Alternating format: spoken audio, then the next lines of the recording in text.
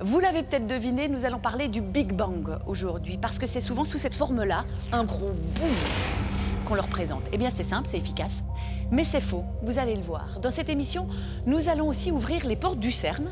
On va découvrir une des quatre expériences du LHC, le long de l'accélérateur de particules. Quatre expériences, quatre gros détecteurs le jalonnent. Ce sont des grosses loupes qui regardent ce qui se passe dedans. Il y a Atlas, CMS, LHCb et Alice. Eh bien, c'est Alice qu'on va découvrir dans cette émission.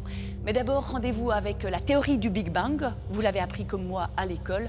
Notre univers s'est créé à ce moment-là. Mais qui a eu l'idée de cette théorie Qu'est-ce que la théorie du Big Bang Georges Lemaître lance l'idée que l'univers est en expansion. Et si l'univers est en expansion, c'est qu'il a été plus dense par le passé. Il nomme sa théorie hypothèse de l'atome primitif. Bang C'était en 1927. À l'époque, l'idée prévalente était que l'univers est stable et immuable. Georges Lemaître était professeur d'université en Belgique et physicien, mais aussi chanoine. Pas facile d'être pris au sérieux lorsqu'on porte la soutane. Même Einstein pense que son raisonnement dévie d'une pensée mystique et subversive. Edwin Hubble, celui qui a donné son nom au fameux télescope Hubble, Edwin Hubble observe les galaxies en 1929. Il constate qu'elles s'éloignent de celui qui les observe.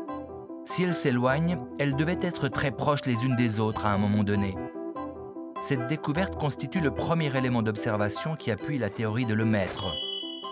À noter tout de même qu'à la même époque, d'autres théoriciens évoquent également cette hypothèse. Le russe Alexandre Friedman, l'américain Howard Robertson et l'anglais Arthur Walker. Dans les années 50, Fred Hoyle, un astrophysicien anglais qui défendait une autre théorie, invente l'expression Big Bang lors d'une émission de la BBC. Il parle avec ironie de la théorie de Lemaître. Et pourtant, en 1998, deux équipes indépendantes d'astronomes observent que les supernovas, des étoiles en explosion, s'éloignent de la Terre de façon accélérée. Ils reçoivent le prix Nobel de physique en 2011. Bang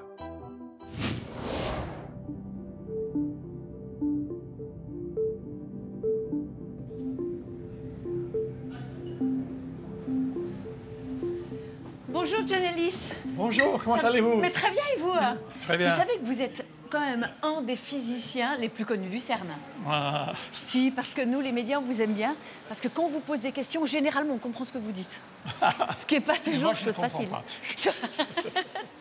Alors, il y a quelques années, on va dire maintenant, on a prouvé l'existence du boson de Higgs au CERN. Alors, les physiciens ont tenté de nous expliquer à nous, euh, pauvres incultes, ce que c'est. Nous, on a tous fait semblant de comprendre ce que vous nous disiez. Mais d'un certain côté, on sait maintenant qu'il existe, ce boson. Qu'est-ce qu'on sait aujourd'hui? Et surtout qu'est-ce qu'on ne sait pas encore? Bon, donc nous avons euh, ce- cette théorie qui décrit toute la matière visible dans l'univers. Et le boson d'Higgs était la, la dernière pièce de ce, de ce puzzle. Sans le, le boson de Higgs, les particules élémentaires n'auraient pas de masse. Donc, par exemple, l'électron n'aurait pas de masse, il n'y aurait pas d'atome parce que l'électron s'échapperait des noyaux à, à la vitesse de la lumière. Donc, nous ne pourrions pas exister. Donc maintenant, ça, on le sait. Et qu'est-ce qu'on ne sait pas? Qu'est-ce qu'on doit encore chercher? Par exemple, vous, vous travaillez sur quoi? En ce moment, je travaille plutôt sur la matière sombre. C'est quoi la matière sombre? C'était l'astrophysicien suisse Fritz Zwicky qui, euh, lors des années 30, a postulé l'existence de, de la matière sombre pour expliquer euh, les mouvements des galaxies dans les amas de galaxies. Et on sait aussi que dans notre galaxie, par exemple, il y a beaucoup plus de matière sombre, invisible, que la matière visible qui fabrique les étoiles. Et c'est là-dessus que vous travaillez en ce moment. Exactement. Notamment. Exactement. Est-ce que vous connaissez euh, la série qui s'appelle euh, The Big Bang Theory? Oui, évidemment, oui, oui, oui. Alors moi, je ne sais pas si vous la connaissez, mais si vous voyez quelques images, je suis sûre que ça vous dira quelque chose. Guess who the university is sending to Switzerland to attend a conference and see the CERN Super Collider on February 14th? Professor Norton, although God knows why. In any case, they're asking me to fill in for him. And I get to bring a guest. Oh, no way, dude. This is incredible. I'm so happy, I'm not even going to question their judgment in picking you. La série cartonne aux États-Unis depuis près de 10 ans, en Europe aussi. C'est une série à la sauce Friends, mais avec des physiciens théoricien et ça a vraiment démocratisé la physique théorique. Nous, on a eu la chance de rencontrer, enfin d'interviewer par Skype, le conseiller scientifique de cette série. Il travaille à UCLA, donc à Los Angeles, mais également au CERN.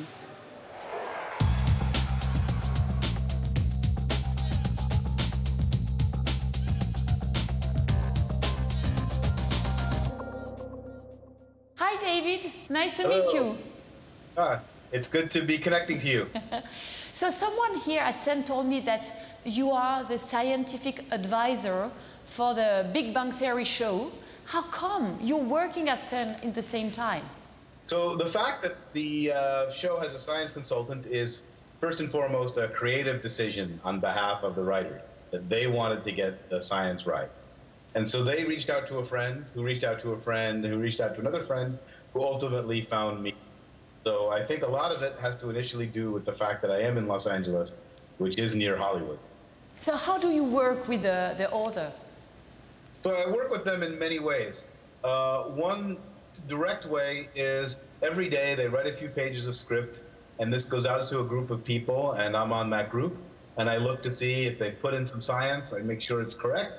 Usually it is. They know a lot of science.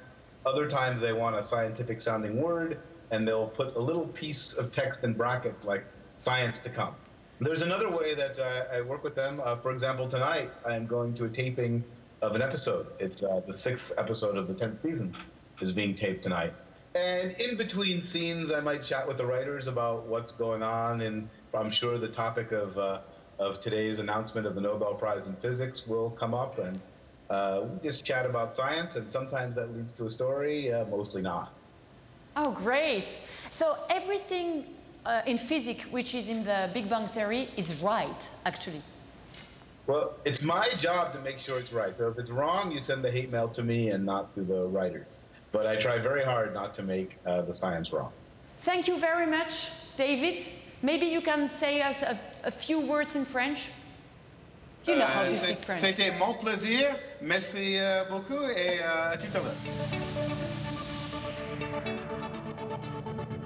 Dans cette émission, dans Big Science, on tente de vous faire découvrir des lieux, des endroits, des bureaux pour que vous connaissiez mieux le CERN. Aujourd'hui, puisqu'on parle du Big Bang, on ne peut pas ne pas parler du LHC. Vous savez, l'accélérateur de particules qui recrée les conditions du Big Bang.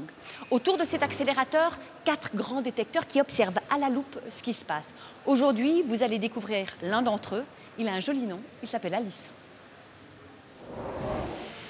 Ici, on grimpe et on arrive tout près du détecteur. Et du coup, on peut le voir. Alors Alice détecte les quarks et les gluons. Qu'est-ce que c'est? Chaque atome est composé d'un noyau composé d'un proton et d'un neutron, sauf euh, l'hydrogène qui n'a pas de neutrons, et autour gravite un nuage d'électrons. Si maintenant on regarde de plus près le noyau, donc les protons et les neutrons, on voit qu'ils sont composés de quarks collés entre eux par des gluons. Et c'est ça qu'Alice va observer. Et surtout, comment ils se comportaient quelques instants après le Big Bang.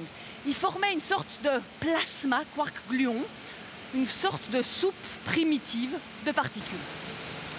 Cette soupe ne peut être recréée que ici, dans le LHC, en chauffant la matière à une température 100 000 fois supérieure à celle qui règne au centre du Soleil et comprimer la matière en exerçant une pression équivalente à 100 fois le poids de la Terre sur une tête d'épingle. Pour réussir à faire ça, en fait, il faut se faire collisionner des ions de plomb à l'intérieur du LHC qui passe ici, juste là, au centre du détecteur. D'ailleurs, le I de Alice, c'est pour ion. Le détecteur mesure 26 mètres de long, 16 mètres de haut et pèse 10 000 tonnes.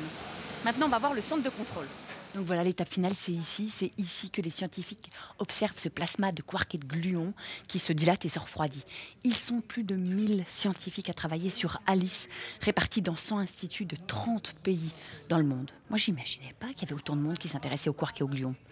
Mais c'est ça, la recherche sur le Big Bang.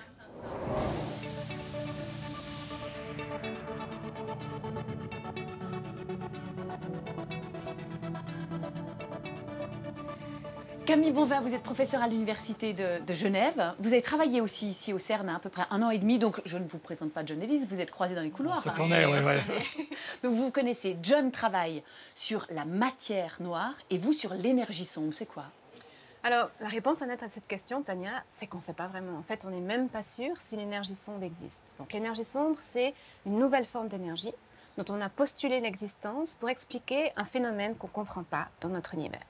John nous a parlé de la théorie du Big Bang. Selon cette théorie, l'univers croît au cours du temps, donc la distance entre deux points dans l'univers grandit. Et puis maintenant, l'univers contient de la matière, il contient des étoiles, des galaxies qui sont massives, qui ont un certain poids. Et comme la matière attire la matière au travers de la force de gravitation, on s'attend à ce que la masse de l'univers rende l'expansion difficile, à ce que ça ralentisse l'expansion de l'univers. Donc ça veut dire que si on reprend euh, des choses qu'on connaît, c'est comme une pomme, quand on la lance en l'air, à un moment donné, bah, elle s'arrête petit à petit. Et ça retombe. Exactement, ça retombe. Exactement. La pomme est attirée par la masse de la Terre, donc la vitesse à laquelle elle s'éloigne de nous est de plus en plus petite. Pour l'univers, dire- c'est pareil. Alors ça voudrait dire qu'après l'univers? Oui, alors d'abord, on s'attend à ce que la vitesse à laquelle il s'étend soit de plus en plus petite. Et puis, s'il y a suffisamment de matière à l'intérieur, on s'attend à ce qu'à un certain moment, l'expansion s'arrête et puis l'univers se C'est le Big. Crunch. Donc ça ferait euh, un Big Bang et ensuite un Big Crunch comme ça. Exactement. Et c'est pas ce qui se passe. Ben non, en fait, on observe exactement le contraire. On observe que la vitesse à laquelle l'univers s'étend est de plus en plus grande au cours du temps. Si je reprends l'exemple de la pomme, c'est comme si, lorsque je la lance en l'air, elle s'éloigne de moi de plus en plus rapidement. Elle accélère loin de moi. Et ça, c'est en contradiction complète avec tout ce qu'on connaît des pommes et tout ce qu'on connaît de la loi de la gravitation. Donc ça veut dire qu'il y a quelque chose dans notre univers qu'on ne comprend pas. Alors, une des manières qu'on a trouvées pour expliquer ce problème, c'est d'introduire une nouvelle forme d'énergie qu'on appelle l'énergie sombre et qui a des propriétés bien particulières. D'abord, cette énergie, elle est partout, elle remplit tout l'univers. Ensuite, elle n'interagit pas de manière directe avec la matière ordinaire, c'est pour ça en fait qu'on la connaît si peu. Et puis, elle a cette propriété très particulière de ne pas se diluer lorsque l'univers s'étend. Si je prends de la matière ordinaire, si j'ai disons un petit volume d'univers avec 10 particules de matière, quand le volume grandit, j'ai toujours 10 particules, ce qui veut dire que la densité de matière décroît au cours du temps. Pour l'énergie sombre, c'est pas comme ça du tout. Quand le volume augmente, la quantité d'énergie augmente aussi. Donc si vous prenez de l'eau salée, en fait si on a un verre d'eau salée, on peut rajouter tout ce qu'on veut d'eau euh, pas salée, et ben il y aurait toujours autant de sel pourtant. Exactement.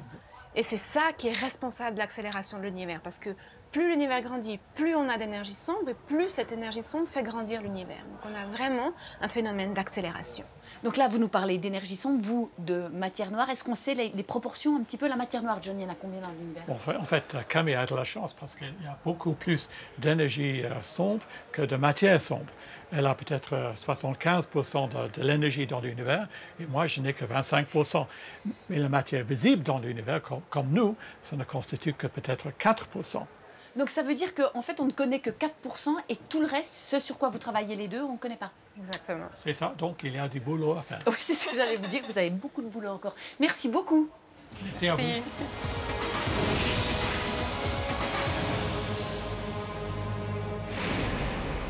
Voilà, Big Science, c'est fini pour aujourd'hui. J'espère que grâce à nous, vous en saurez un tout petit peu plus sur le Big Bang. On se retrouve tout bientôt pour une nouvelle émission.